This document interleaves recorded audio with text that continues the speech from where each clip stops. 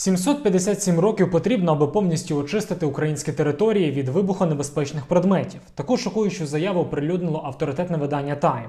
Так насправді сьогодні близько 30% території нашої держави забруднені вибухонебезпечними предметами, і наша країна опинилася на першому місці у негативному рейтингу найзамінованіших країн у світі, випередивши такі страшні нашому вуху Сирію та Афганістан. Крім того, забруднення української території мінами та нерозірваними снарядами є найбільшим з часів Другої світової війни. Цифри далекі від планів. На даний момент Росія може виготовляти по кілька десятків дронів камікадзе на місяць, але ці цифри набагато скромніші від того, що запланувало керівництво країни-агресорки. Про це в інтерв'ю розповів представник ГУР Міноборони Андрій Юсов.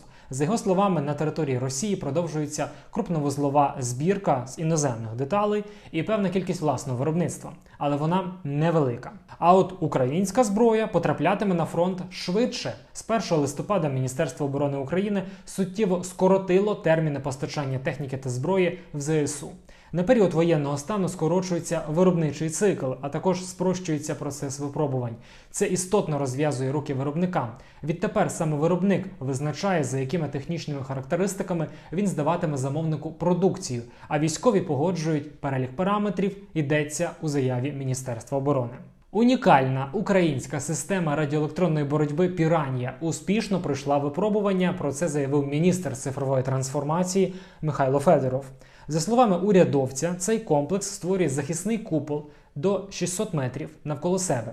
Він повністю глушить сигнали ворожих коптерів чи дронів камікадзе. Вони не можуть отримувати команди та передавати дані. Як результат, ворожа пташка під дією нашого комплексу або зависає в повітрі і здійснює аварійну посадку, або просто безконтрольно падає.